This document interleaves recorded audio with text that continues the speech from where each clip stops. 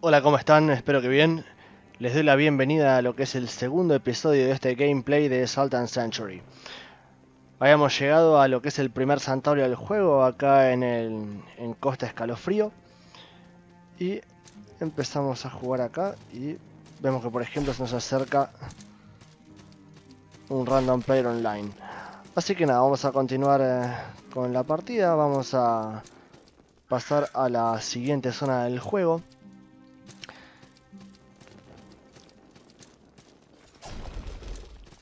Que es, si no me equivoco, el banquete. Vamos acá arriba, subimos, encontramos un objeto que son tres ampollas rojizas y una faltriquera de sal. Las faltriqueras de sal más que nada tienen, contienen sales, justamente. En pequeñas cantidades creo que tienen 50, 100 o 200, muy pocas cantidades. Y las ampollas de sangre que son para, para curación. Esta es una puerta actualmente cerrada, así que tenemos que ir avanzando por esta zona del juego.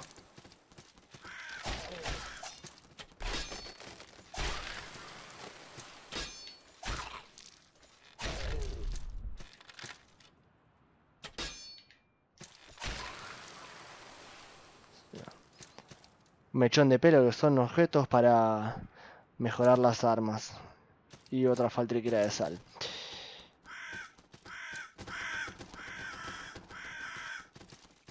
Llegamos a todo este escenario que tenemos cuerpos atravesados, cuerpos ahorcados. Y bueno, abrimos la puerta acá y llegamos a la segunda zona del juego que es el banquete pútrido o The Festering Banquet.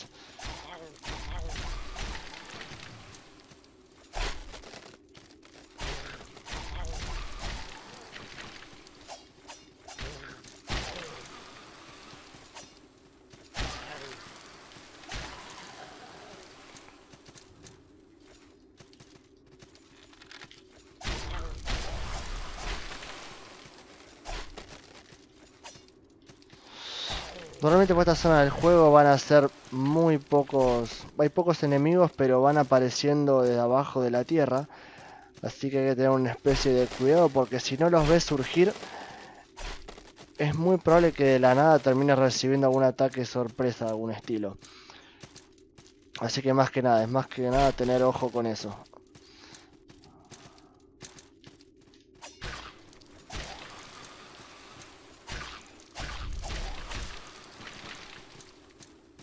Más objetos que caen, oreja de caminante putrefacto. Como para que tengan idea de lo que es la probabilidad de objeto, es básicamente eso. Cuando hablamos de que eh, la chance de que un enemigo deje caer un objeto y además eh, hace también lo referido a lo que es la rareza de, de obtener ese objeto. Así que nada. Una cosa no les había indicado las veces anteriores es acerca del bestiario. Está bastante interesante en esta parte lo que es el bestiario porque va y te da una suerte de, mini biografía de lo que es el personaje en cuestión.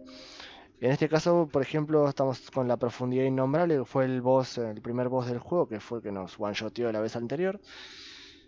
Y nada, y te va explicando detalles acerca del monstruo. Tenemos el nombre arriba eh, al lado tenemos un número junto a una calabrita, que es la cantidad de veces que ese personaje te mató, ese enemigo. Y al lado tenemos un número junto a una espada, que es la cantidad de veces que uno mató a ese enemigo. Cuando es un boss, obviamente va a aparecer solamente una vez, y en el otro caso va a estar la cantidad de veces que nos mató. Está bueno en eso más que nada, porque cuando uno le gusta contabilizar, digamos, lo que es em, la cantidad de veces que nos tomó eh, matar un jefe está muy bueno, cosa de que en los Souls, por ejemplo, no está porque hay que tener una cuenta en la mente. Y hay veces que cuando se complica la cosa se nos va de las manos ese asunto. Así que nada, eh, después tenemos por ejemplo este putrefacto y en este caso por ejemplo lo que quería mostrarles respecto a lo que son los bosses que solamente tenemos al personaje en cuestión es que en el caso de los enemigos comunes, aparte de darnos la, también la misma descripción, la cantidad de enemigos que matamos del estilo, es que nos da al costado los ítems que nos puede dejar caer. En este caso, por ejemplo, es una oreja de caminante putrefacto que es un material para mejorar armas. Eh, hay otros cuatro objetos que nos pueden dejar, pero que todavía no los descubrimos porque no los han dropeado en este caso. Mechón de pelo para el ballestero y demás. Así que nada, vamos, continuemos hacia adelante. Tenemos que ir por este camino. Ahí tenemos un revólver que es un poco más fuerte de lo que teníamos hasta ahora, así que hay que tener eh, un especial cuidado. Pero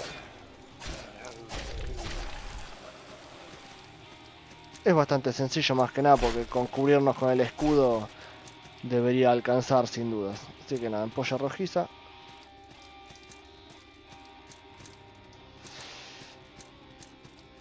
Y nada, ahí tenemos otro enemigo, así que vamos a ir a buscarlo porque nos va a servir dentro de todo porque tenemos que empezar a, subir niveles. Y aunque sea de a 20 sales, nos van a seguir resultando sumamente útiles. Continuamos subiendo. Sin olvidarnos nunca de romper los...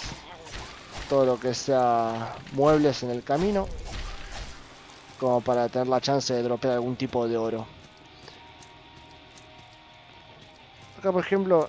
Em, claramente esos brillos dan a entender de que hay un tipo de pasaje a otro lado. En este caso salimos, nos asomamos y tenemos acá un mercader de piedra que es para hacer una ofrenda en el templo y una faltriquera de sal.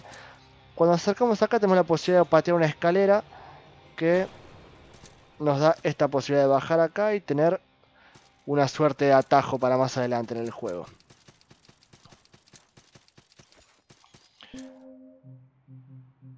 Acá vemos que tenemos eh, todo objeto nuevo que vayamos consiguiendo en el juego se va a sumar automáticamente a lo que es la lista de ítems que tenemos a mano, digamos. En este caso las faltriqueras de sal y los zurrones de sal van a ser innecesarios porque no vamos a empezar a, sumarnos sales fuera de un santuario porque es un riesgo en que nos matan y perdemos todas las sales encima. Vamos a reacomodar esto y nos ponemos acá las ampollas rojizas.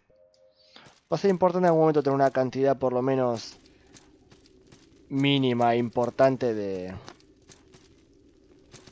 de ampollas más que nada para lo que es curación. Bueno, acá nos dio una antorcha y un kunai, que son cuchillos arrojadizos, y las antorchas es un otro control que me había olvidado anteriormente, que es más que nada para iluminar zonas oscuras, son muchas en el juego, así que es muy importante tenerlo. Para eso tenemos que mantener apretado hacia abajo, eh, el botón hacia abajo, mantenerlo apretado y prende la antorcha. Acá no salta mucho porque no hay oscuridad, pero no podríamos verlo, sino que cuánto ilumina. Para apagarlo simplemente apretamos abajo y solitos, sin mantener apretado ni nada, solo lo va eh, recuperando. En este caso quería mostrar más que nada que acá tenemos el camino cerrado, que tendremos que tomar un atajo después para poder abrirlo con la manivela del otro lado. Eh, en este caso pisamos una madera que es frágil y que se rompe y tarda unos segundos en volver a reconstruirse. Volvemos por el mismo lugar. Y subimos. ¿Qué tenemos acá? Otro ballestero más, pero acompañado de un perro. El perro tiene un ataque bastante complicado, que es que cuando te ataja en el piso es como que te puede sacar bastante vida. Pero... Por suerte es un enemigo con bastante poca vida, por lo que no debería resultar una complicación en absoluto. Como ven, con un ataque, con un golpe o dos alcanzó para eliminarlo, por lo cual no fue tanta historia. Bueno, acá tuvimos una campana de regreso. Básicamente lo que hace la campana de regreso es que la podemos usar para volver automáticamente al último santuario en el cual hemos estado. Vamos a sacar los ítems principales. Tal vez el kunai puede salir como para tener algún tipo de arma a distancia, que es algo con lo que no contamos en este momento. Bueno, más enemigos nuevos que son los murciélagos. Son fáciles como verán de eliminar, pero tiene su complicación en que su ataque causa daño de tipo veneno, por lo cual puede resultar de todas formas algo molesto.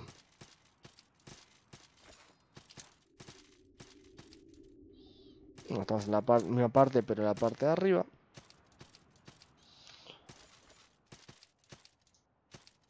Más ampollas rojizas que nunca están de más vamos a empezar a bajar por acá. Acá tenemos otro clérigo de piedra que es para invocarlo y poder seguir eh, seguir invocando gente con las ofrendas que hacemos en, los santuarios. Y nada, vamos subiendo por acá, continuamos el camino.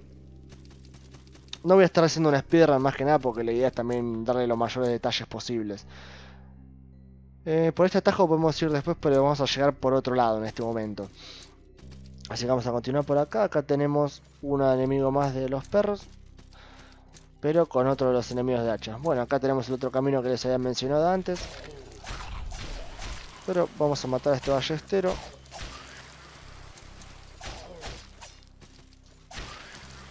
Y ahí logramos matar a todos los enemigos que nos llegan a esta zona. Bueno, acá tenemos eh, la armadura de pícaro.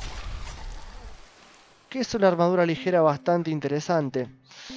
Eh, le podríamos dar uso, pero nos va a bajar considerablemente lo que es la defensa ante un montón de cosas. Y tiene un, un, personaje de clase caballero, tal vez lo más útil en este momento es mantener la armadura. Eh, la armadura pesada. Aunque capaz que eventualmente si hay algún tipo de, de equipo más útil puede ser mejor cambiarla alguna de tipo ligera.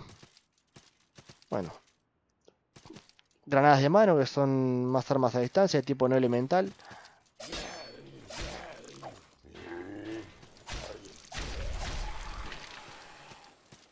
matamos a este enemigo acá. Bueno, acá tenemos una chance en realidad. No la tenemos en este momento. Bueno, un anillo vendado. Esto nos va a ayudar. Primer anillo del juego, acá los vamos equipando. Tenemos la chance de equipar cuatro anillos. En este caso el anillo vendado lo que hace es reducir el efecto de las heridas, que son em, esa reducción que, que hace del HP máximo que tenemos eh, cuando nos atacan. Así que lo usamos y así se reduce lo menos posible la cantidad de daño que vamos recibiendo.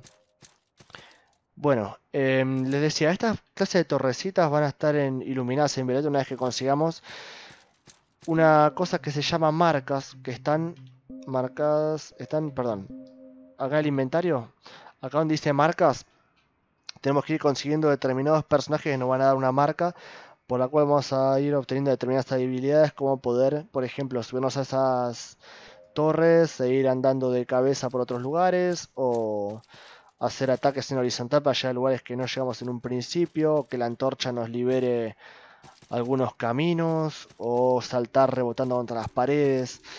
Así que nada, son marcas que vamos a ir consiguiendo a lo largo del juego, pero por ahora está completamente fuera de nuestro alcance. Así que nada, continuamos. Por el camino que habíamos hecho anteriormente.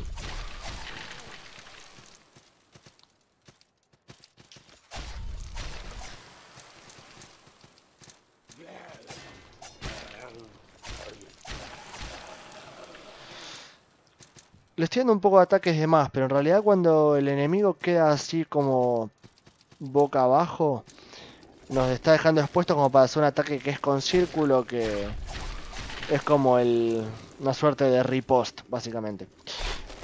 Pero bueno, nada. Acá nos lo mencionó ese mensaje santuario adelante. Nos metemos acá y acá tenemos un santuario. Prendemos la vela en este caso es un santuario común y corriente, o sea, vamos a poder recuperar nuestra vida, todo lo que queramos, pero nos da la chance de, por ejemplo, em, subir de nivel y demás cuestiones. Otro dato a mencionar es que cuando nosotros nos metemos en algún santuario, se eh, reaparecen todos los enemigos que hayamos visto en el camino. Vamos a bajar acá antes de, mm, de ir hacia lo que es el boss de esta zona. Y nada, ahí agarramos un, un objeto.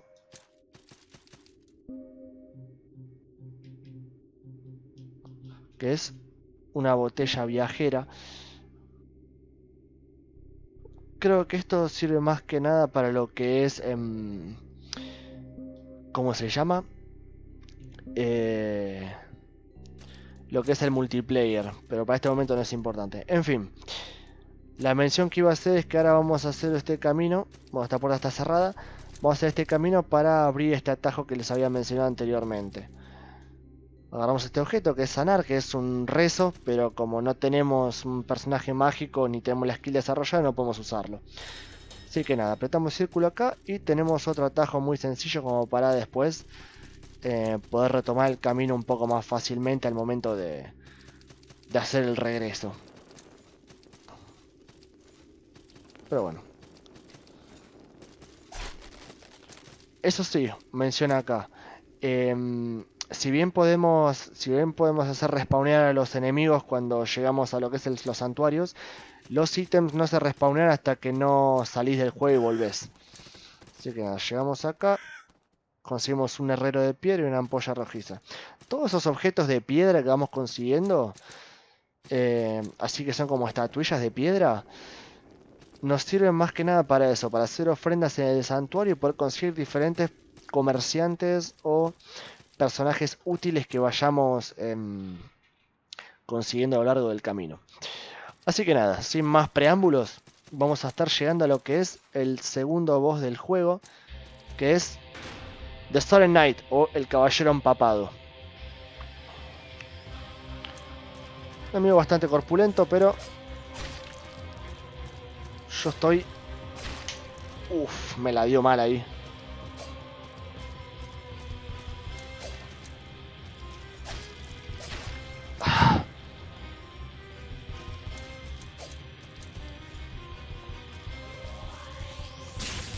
Ay, no le puedo agarrar así.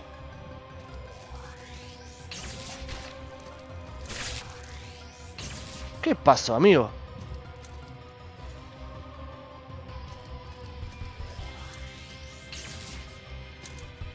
Va a tener esos ataques físicos y el ataque a distancia que es... Em,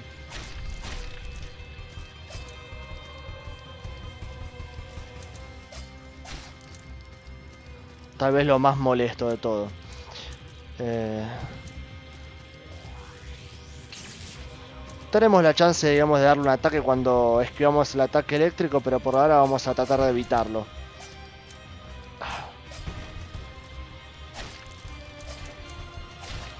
¡Ah! No te puedo creer.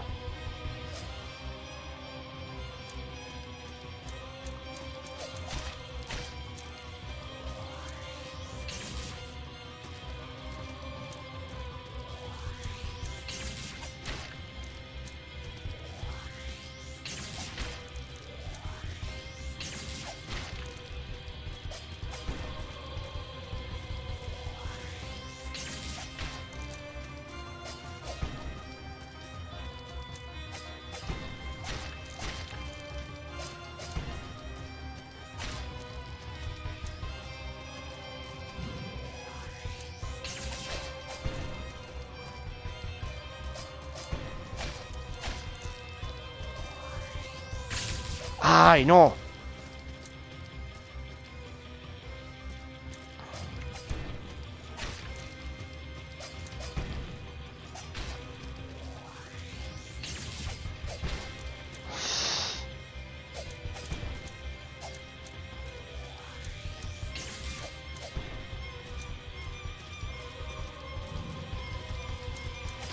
¡Ay, no!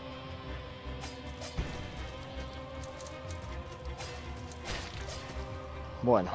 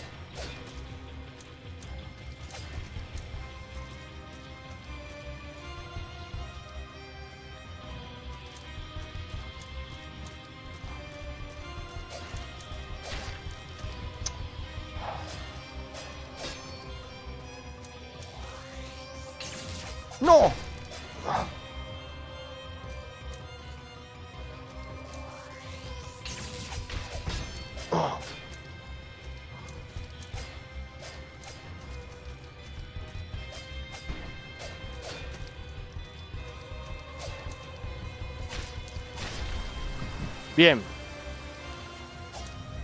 Bueno. Sufrí un poco más de lo que quería, pero lo bajé en un try. Es un tema, generalmente al principio de la fase es bastante llevadero porque los ataques son dentro de todo bastante más lineales. Pero después se vuelve un toque impredecible, más que nada por el hecho de que em, no sabes cuándo te tira un golpe solo, cuando te tira dos seguidos, cuando te tira tres seguidos. Combina el ataque del suelo con electricidad con un ataque de salto, entonces como que capaz que esquivas el ataque eléctrico, pero después el golpe físico te lo pone, entonces se pone bastante impredecible una parte del juego, pero bueno. Eh, lo importante es que ganamos la primera parte y ya conseguimos...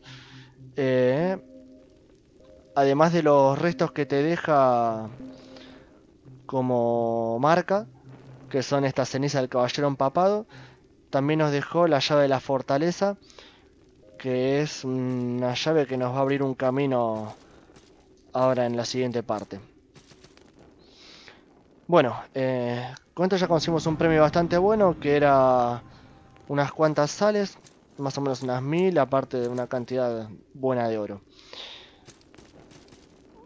Pero bueno, antes de hacer el camino hacia adelante, vamos a ir por acá.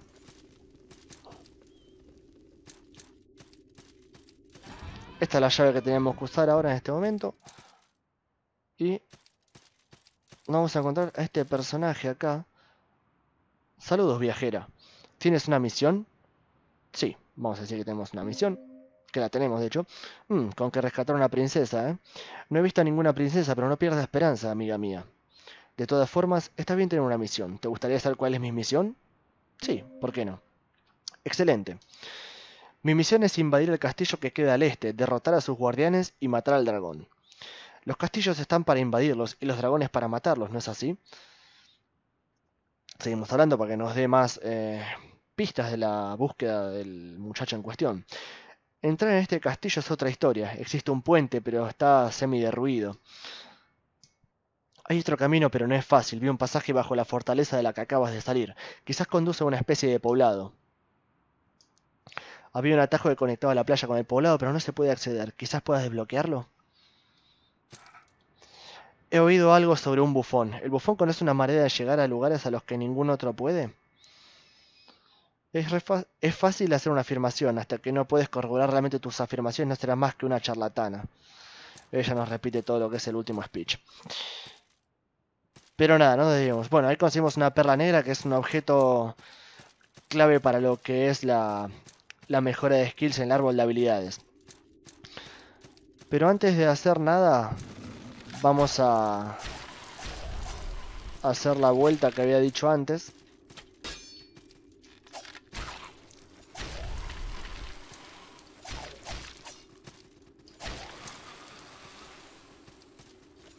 Vamos a ir matando enemigos porque nunca está de más conseguir más, más sales. Eh,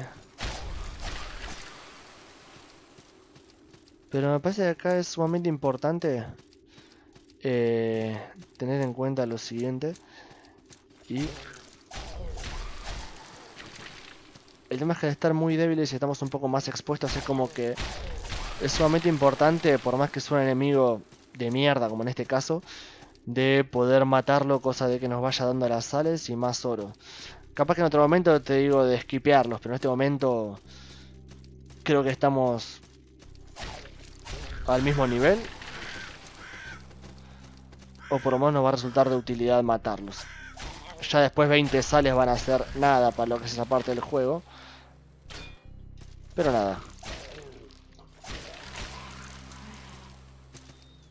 Vamos a tener otra forma también de controlar lo que es la resistencia de los personajes y eso. Así que nada. Hacemos un breve regreso a lo que es acá la costa escalofrío. Y vamos a irnos acá a la sal al santuario. Tengo la chance de subir de nivel, así que eso es lo que quería mostrarles justamente. Y acá podemos ver la cantidad de niveles que podemos sumar. Al sumar 560 sales es como que podemos ir subiendo otros niveles, así que vamos a aprovechar. Podemos subir un total de 3 niveles. Así que le damos sí. Y ahí tenemos los niveles. Subimos 3 niveles, por lo tanto nos dio 3 perlas negras. Y ya tenemos un total de 4 porque ya habíamos encontrado una anteriormente. Como les dije, es muy importante esto, fundamentalmente. Conseguir lo que son las faltriqueas de redomas, cosa de ir consiguiendo eh, pociones. En este caso se puede usar una sola vez eh, lo que son las redomas, pero hay otros ítems que se pueden seguir subiendo eh, varias veces, como es el caso de, de lo que son la fuerza y demás. En este caso vamos a ir acá. Eh, al tener un tipo de arma que va a enojarnos con la fuerza, y al ser importante también eso, vamos a ir para acá. Son la siguiente espada. Siguiente espada lo tenemos... La re perdí la siguiente espada. Por acá tenemos masas. Martillos. ¿Dónde está? Ah, acá está. Acá está la segunda espada, así que ya tenemos uno en particular, así que tendríamos que seguir por este camino. En este caso, antes de hacer nada, nos podemos fijar lo que tenemos de objetos. En este momento no tenemos nada en particular que nos vaya. Vamos ver la máscara de pícaro más que nada como para tener un tipo de defensa ahí. Después armas tampoco, escudos tampoco. Pero capaz va a ser un poco más útil ir mejorando los armamentos a medida que sea necesario. Eh, eventualmente vamos a necesitar, por ejemplo, armaduras pesadas. Así que vamos a subir acá un poco la fuerza que también nos va a ser útil. Y el escudo va a ser necesario, porque vamos a manejarlo, así que vamos a dar el, el, escudo clase 1. Este, en este, punto no solamente vamos a poder usar escudos de clase 1, sino que también nos va a dar un punto de voluntad. Que es lo que aumenta la resistencia máxima. Vamos, le damos y listo. Nos quedamos con un punto de reserva, así como para no tener ningún tipo de problema. Pero nada, ya ahí tenemos una breve, por lo menos, introducción a lo que es eh, la suba de niveles. Y que no vimos toda, no, que, que no hemos visto todavía.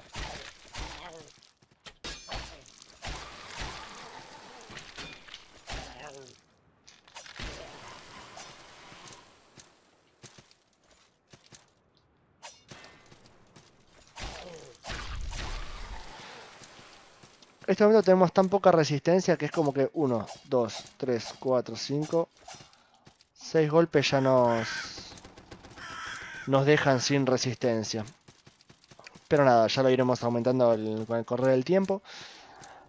Así que nada, eh, esto fue la segunda parte del gameplay de Salt and Century. Así que nada, los espero en la tercera parte. Esta vez fue un poco más corta porque tampoco había mucho calar, así que nada. Lo voy dejando. Hasta luego.